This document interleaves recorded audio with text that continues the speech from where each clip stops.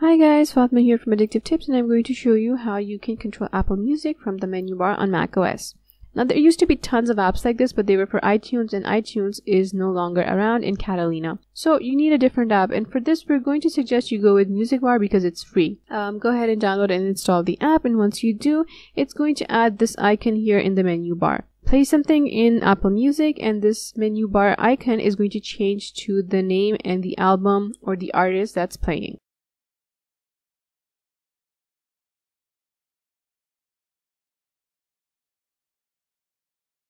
If you click it, you get this pop-up here that lets you control playback. You can play or pause the track, you can move to the next or previous one, or you can jump to any position in the current track. Music bar has a light and dark theme, and that's kind of about it for its features. They're pretty basic right now, but it does the job.